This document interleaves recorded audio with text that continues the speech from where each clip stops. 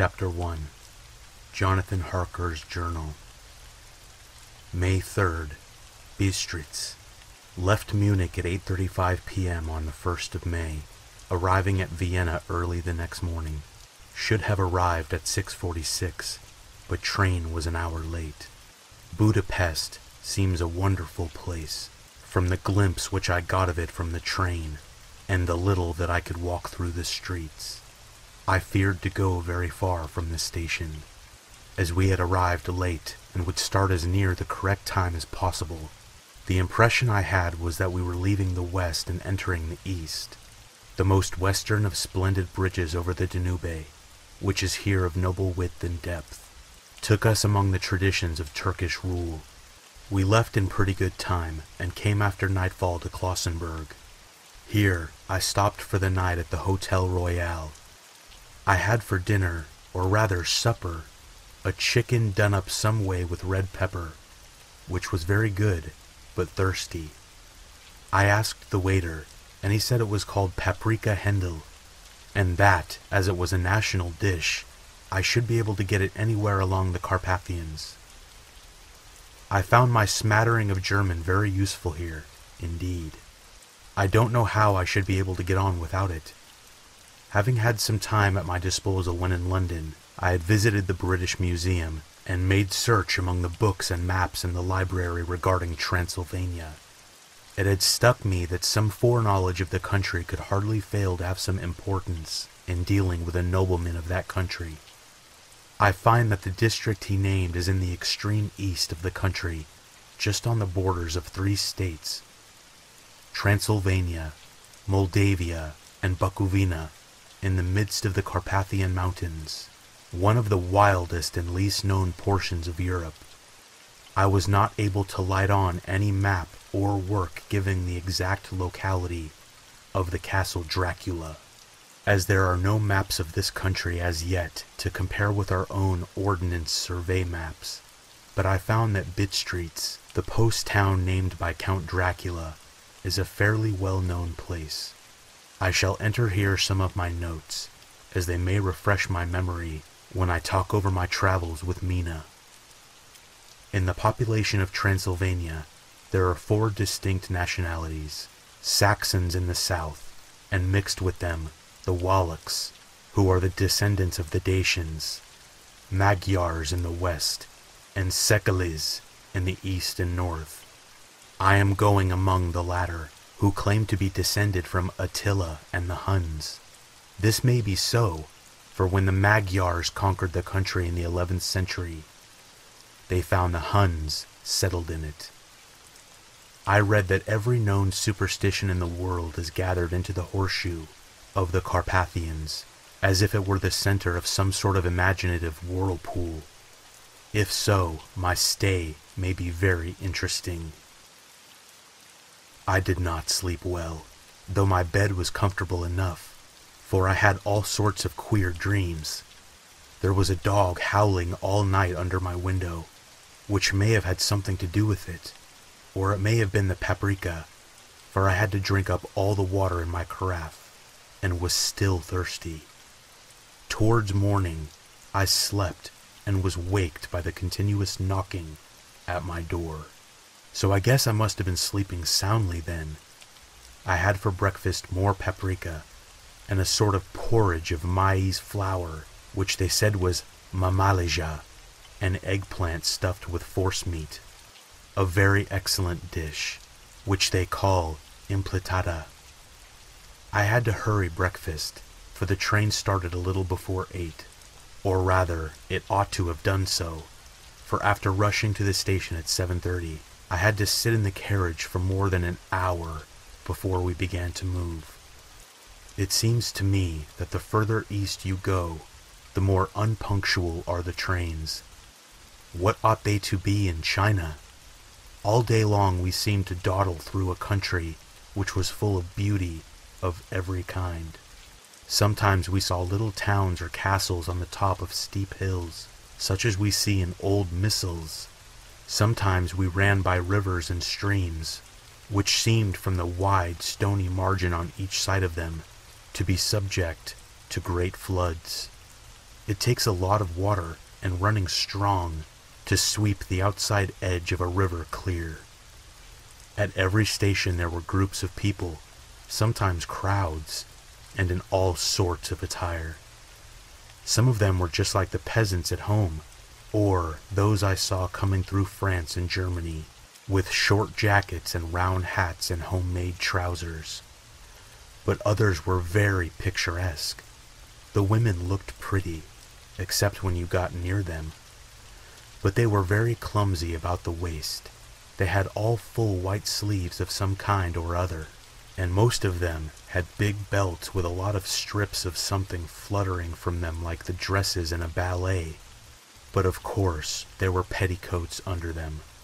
The strangest figures we saw were the Slavic, who were more barbarian than the rest, with their big cowboy hats, great baggy dirty white trousers, white linen shirts, and enormous heavy leather belts, nearly a foot wide, all studded over with brass nails.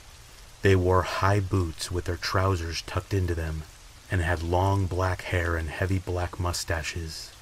They are very picturesque, but do not look prepossessing. On the stage they would be set down at once as some old oriental band of brigands.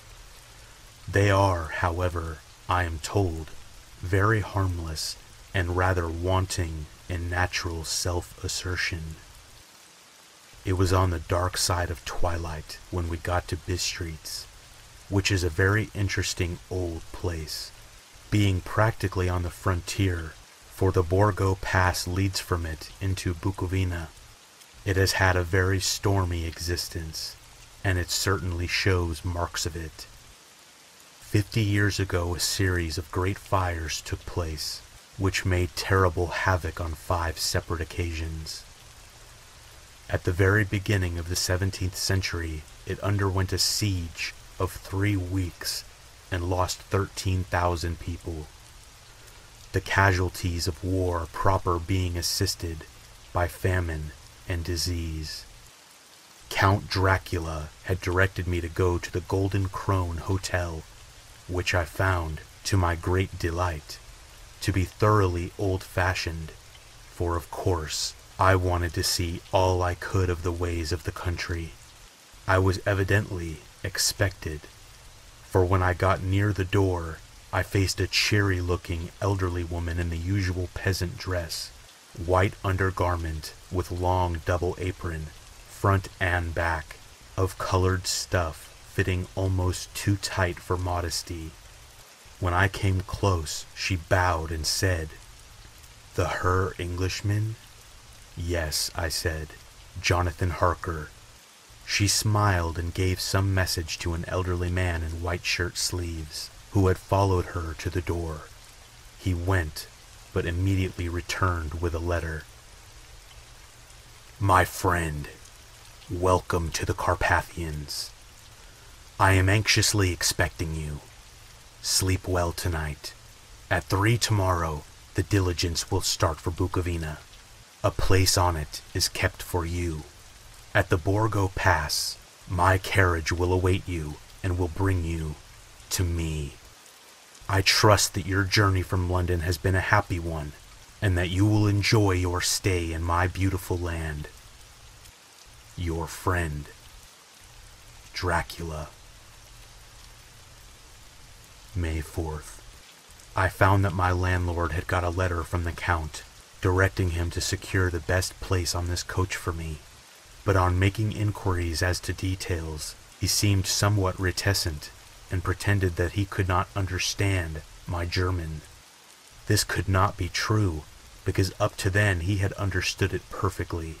At least, he answered my questions exactly as if he did. He and his wife, the old lady who had received me, looked at each other in a frightened sort of way. He mumbled out that the money had been sent in a letter, and that was all he knew. When I asked him if he knew Count Dracula, and could tell me anything of his castle, both he and his wife crossed themselves and, saying that they knew nothing at all, simply refused to speak further. It was so near the time of starting that I had no time to ask anyone else, for it was all very mysterious and not by any means comforting. Just before I was leaving, the old lady came up to my room and said in a very hysterical way, Must you go?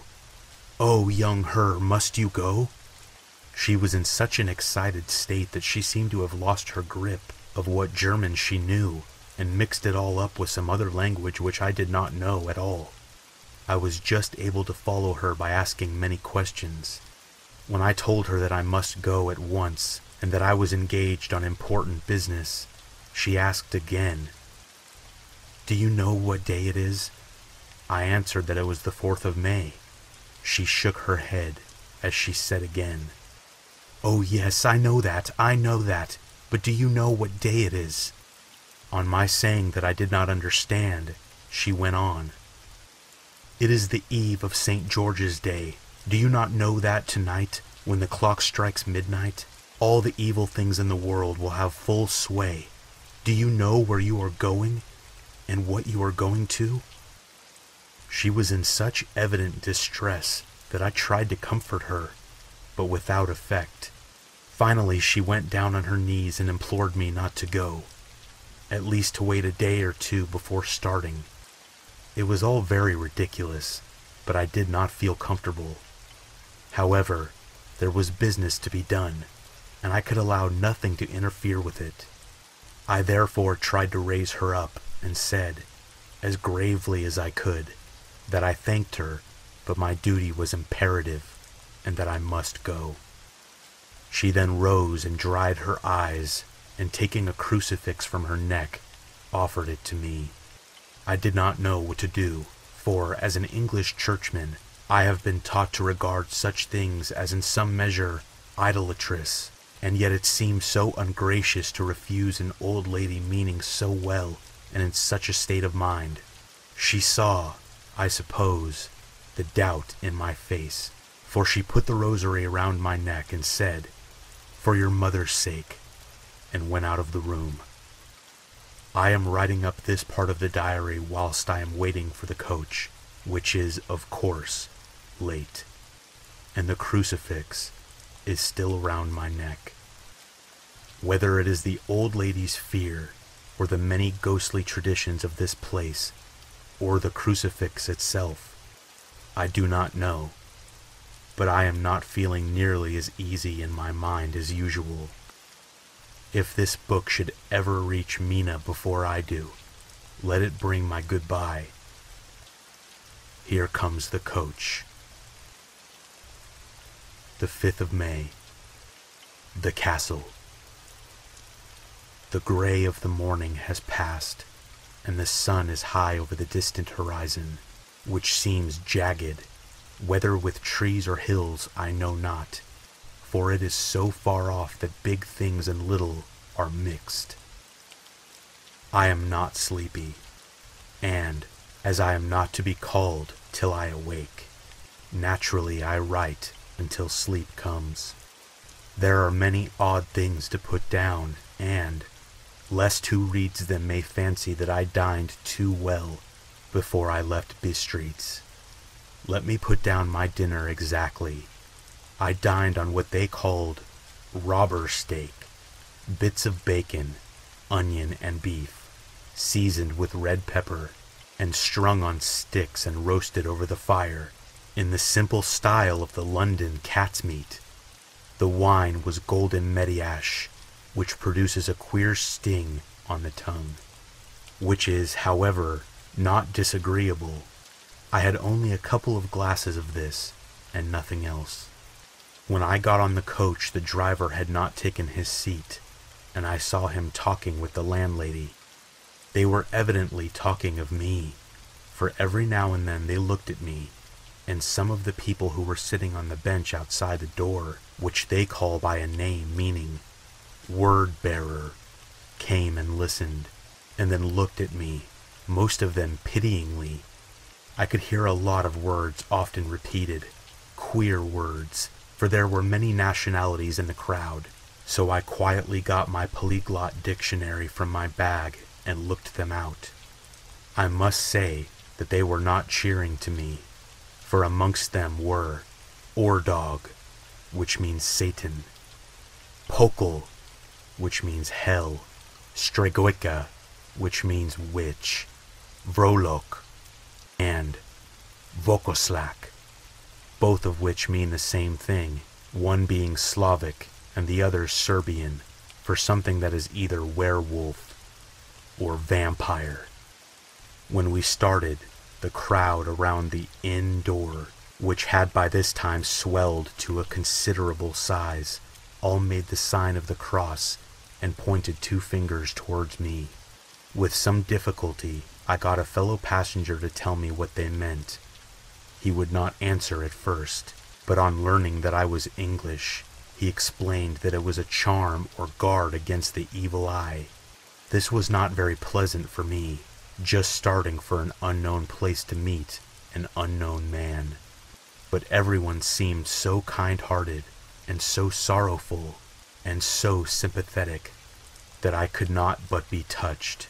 I shall never forget the last glimpse which I had of the inn yard and its crowd of picturesque figures, all crossing themselves as they stood around the wide archway with its background of rich foliage of oleander and orange trees and green tubs clustered in the center of the yard. Then our driver, whose wide linen drawers covered the whole front of the box seat, Gotza, they call him, cracked his big whip over his four small horses, which ran abreast, and we set off on our journey.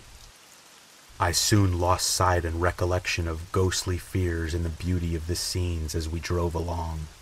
Although had I known the language, or rather languages, my fellow passengers were speaking, I might not have been able to throw them off so easily.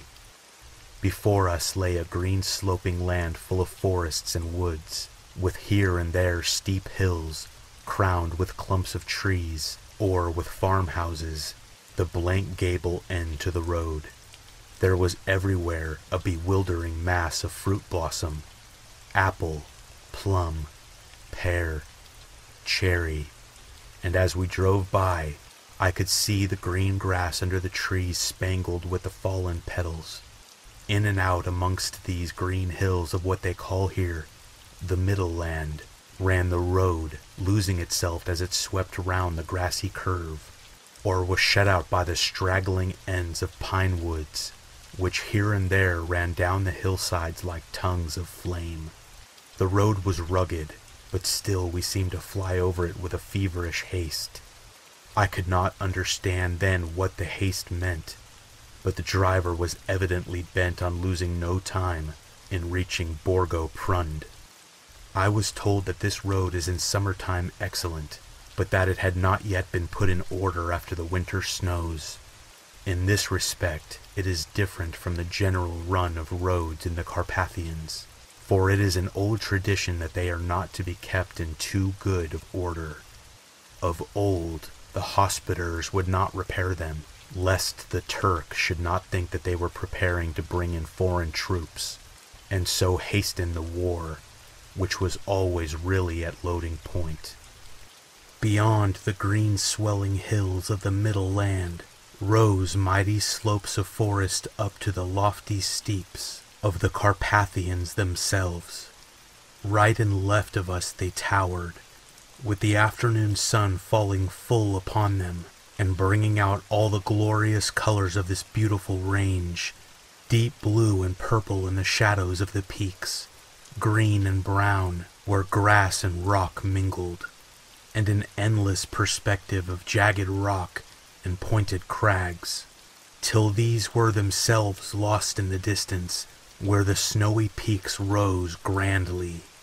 Here and there seemed mighty rifts in the mountains, through which, as the sun began to sink, we saw now and again the white gleam of falling water. One of my companions touched my arm as we swept around the base of a hill and opened up the lofty, snow covered peak of a mountain, which seemed, as we wound on our serpentine way, to be right before us. Look, Isten szek, God's seat! and he crossed himself reverently As we wound on our endless way, and the sun sank lower and lower behind us, the shadows of the evening began to creep around us. This was emphasized by the fact that the snowy mountain tops still held the sunset and seemed to glow out with a delicate, cool pink. Here and there we passed Czechs and Slovaks, all in picturesque attire, but I noticed that goiter was painfully prevalent. By the roadside were many crosses, and as we swept by, my companions all crossed themselves.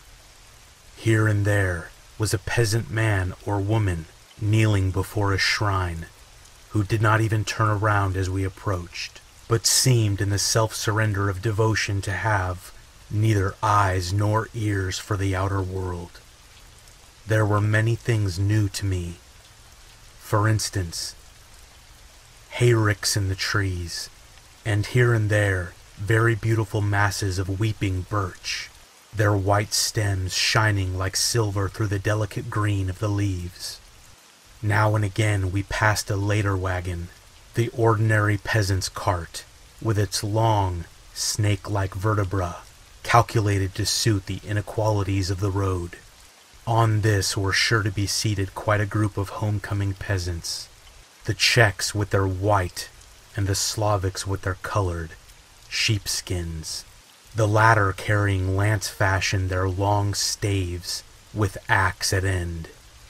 As the evening fell, it began to get very cold, and the growing twilight seemed to merge into one dark mistiness the gloom of the trees, oak, beech, and pine though in the valleys which ran deep between the spurs of the hills, as we ascended through the pass, the dark firs stood out here and there against the background of late lying snow. Sometimes, as the road was cut through the pine woods that seemed in the darkness to be closing down upon us, great masses of grayness, which here and there bestrewed the trees, produced a peculiarly weird and solemn effect which carried on the thoughts and grim fancies engendered earlier in the evening.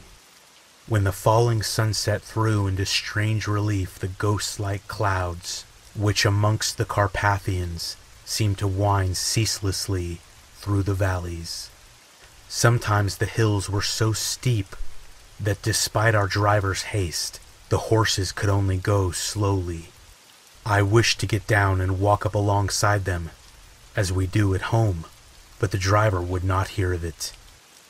No, no, he said. You must not walk here. The dogs are too fierce. And then he added, with what he evidently meant for grim pleasantry, for he looked around to catch the approving smile of the rest, and you may have enough of such matters before you go to sleep. The only stop he would make was a moment's pause to light his lamps. When it grew dark, there seemed to be some excitement amongst the passengers, and they kept speaking to him, one after the other, as though urging him to further speed. He lashed the horses unmercifully with his long whip, and with wild cries of encouragement urged them on to further exertions. Then, through the darkness, I could see a sort of patch of gray light ahead of us, as though there were a cleft in the hills. The excitement of the passengers grew greater. The crazy coach rocked on its great leather springs and swayed like a boat tossed on a stormy sea. I had to hold on. The road grew more level, and we appeared to fly along. Then the mountains seemed to come nearer to us on each side and to frown down upon us. We were entering on the Borgo Pass. One by one several of the passengers offered me gifts, which they pressed upon me with an earnestness which would take no denial. These were certainly of an odd and varied kind, but each was given in simple good faith, with a kindly word and a blessing, and that strange mixture of fear-meaning movements which I had seen outside the hotel at Bistritz, the sign of the cross and the guard against the evil eye. Then, as we flew along, the driver leaned forward, and on each side the passengers, craning over the edge of the coach, peered eagerly into the darkness. It was evident that something very exciting was either happening or expected, but though I asked each passenger, no one would give me the slightest explanation. This state of excitement kept on for some little time, and at last we saw before us the pass opening out on the eastern side. There were dark, rolling clouds overhead, and in the air the heavy, oppressive sense of thunder. It seemed as though the mountain range had separated two atmospheres, and that now we had gotten into the thunderous one. I was now myself looking out for the conveyance, which was to take me to the Count. Each moment I expected to see the glare of lamps through the blackness, but all was dark. The only light was the flickering rays of our own lamps, in which the steam from our hard driven horses rose in white cloud. We could see now the sandy road lying white before us, but there was on it no sign of a vehicle. The passengers drew back with a sigh of gladness, which seemed to mock my own disappointment. I was already thinking what I had best do when the driver, looking at his watch, said to the others something which I could hardly hear. It was spoken so quietly and in so low a tone. I thought it was an hour less than the time. Then turning to me, he said in German, worse than my own, There is no carriage here. The Herr is not expected after all. He will now come on to Bukovina and return tomorrow or the next day. Better the next day. Whilst he was speaking, the horses began to neigh and snort and plunge wildly, so that the driver had to hold them up. Then, amongst a chorus of screams from the peasants and a universal crossing of themselves, a caleche with four horses drove up behind us overtook us and drew up beside the coach. I could see from the flash of our lamps as the rays fell on them that the horses were coal black and splendid animals. They were driven by a tall man with a long brown beard and a great black hat, which seemed to hide his face from us. I could only see the gleam of a pair of very bright eyes, which seemed red in the lamplight as he turned to us he said to the driver, You are early tonight, my friend. The man stammered in reply. The English Herr was in a hurry, to which the stranger replied, That is why, I suppose, you wished him to go on to Bukovina. You cannot deceive me, my friend. I know too much, and my horses are swift. As he spoke, he smiled, and the lamplight fell on a hard looking mouth, with very red lips and sharp looking teeth, as white as ivory. One of my companions whispered to another the line from Bürger's Lenore, Den die Taten reiten schnell, for the dead travel fast. The strange driver evidently heard the words for he looked up with a gleaming smile. The passenger turned his face away, at the same time putting out his two fingers and crossing himself. Give me the Herr's luggage, said the driver, and with exceeding alacrity my bags were handed out and put in the caleche. Then I descended from the side of the coach, as the caleche was close alongside the driver helping me with a hand which caught my arm in a grip of steel. His strength must have been prodigious. Without a word, he shook his reins, the horses turned, and we swept into the darkness of the pass.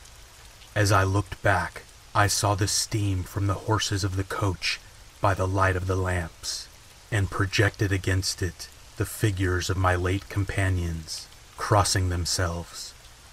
Then the driver cracked his whip and called to his horses, and off they swept on their way to Bukovina. As they sank into the darkness, I felt a strange chill and a lonely feeling came over me. But a cloak was thrown over my shoulders and a rug across my knees, and the driver said in excellent German, The night is chill, mein Herr, and my master the Count bade me take all care of you. There is a flask of Slivovitz, the plum brandy of the country, underneath the seat, if you should require it. I did not take any, but it was a comfort to know it was there all the same. I felt a little strangely, and not a little frightened.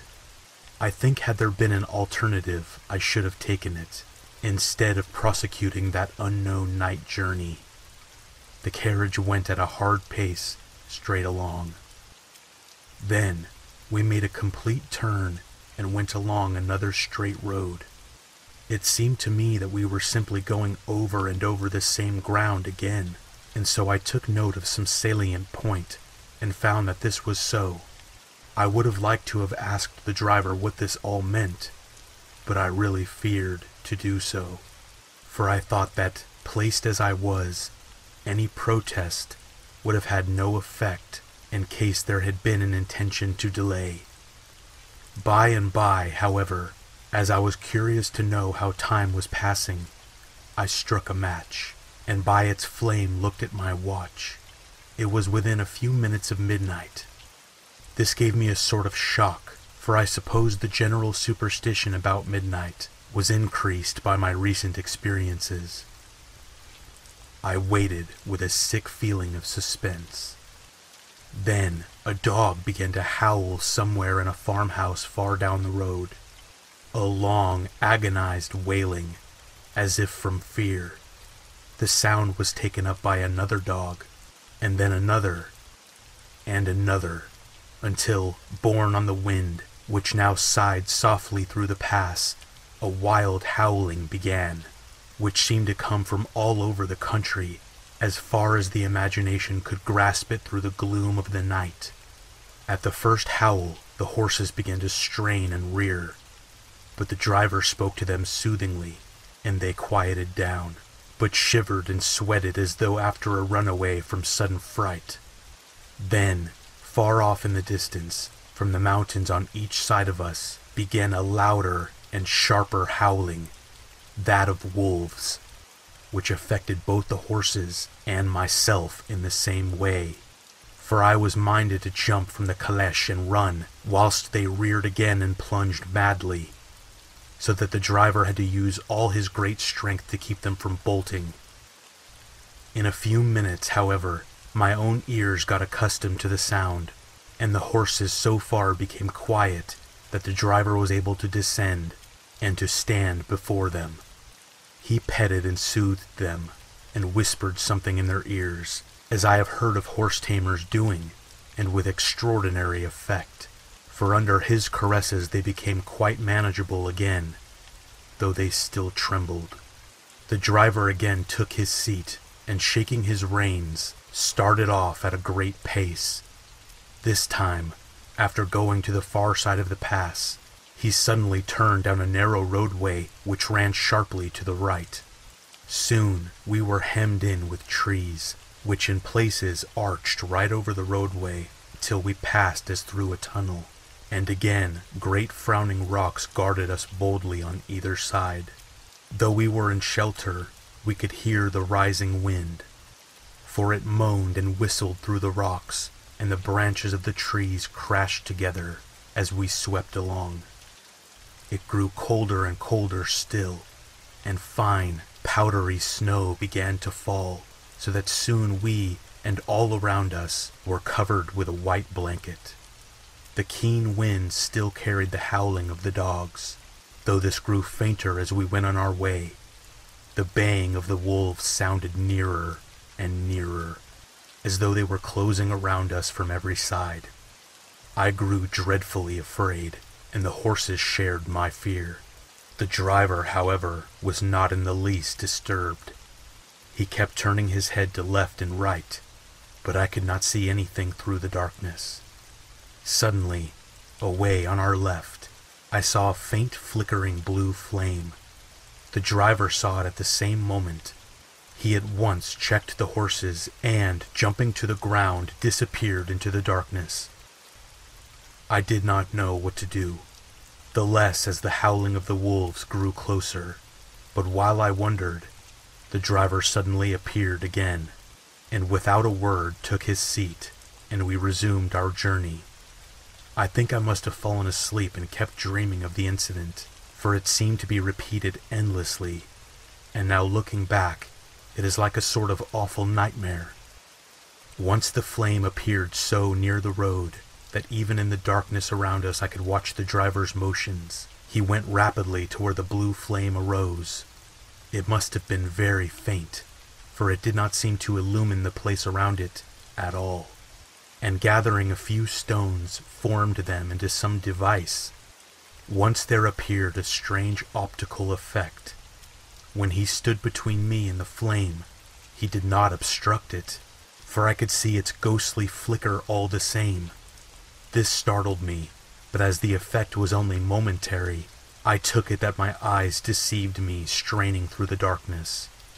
Then, for a time, there were no blue flames, and we sped onwards through the gloom, with the howling of the wolves around us, as though they were following in a moving circle.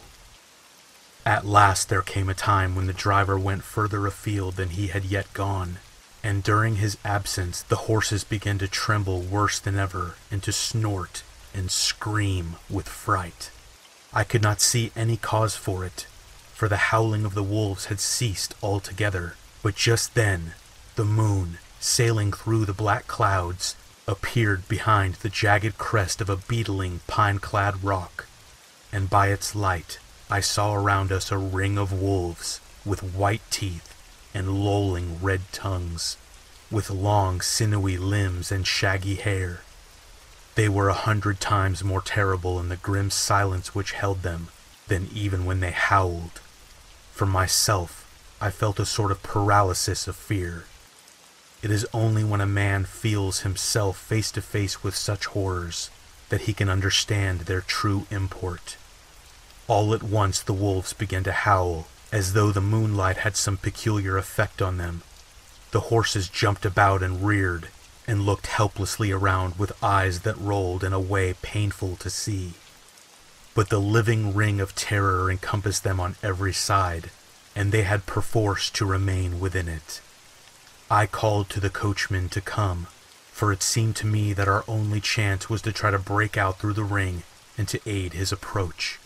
I shouted and beat the side of the caleche, hoping by the noise to scare the wolves from that side, so as to give him a chance of reaching the trap. How he came there, I know not, but I heard his voice raised in the tone of imperious command, and looking towards the sound, saw him stand in the roadway. As he swept his long arms as though brushing aside some impalpable obstacle, the wolves fell back and back further still. Just then, a heavy cloud passed across the face of the moon, so that we were again in darkness. When I could see again, the driver was climbing into the caleche, and the wolves had disappeared. This was all so strange and uncanny that a dreadful fear came upon me, and I was afraid to speak or move.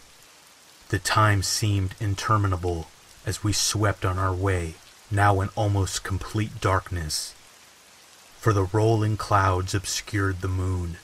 We kept on ascending, with occasional periods of quick descent, but in the main always ascending. Suddenly, I became conscious of the fact that the driver was in the act of pulling up the horses in the courtyard of a vast, ruined castle, from whose tall black windows came no ray of light, and whose broken battlements showed a jagged line against the moonlit sky.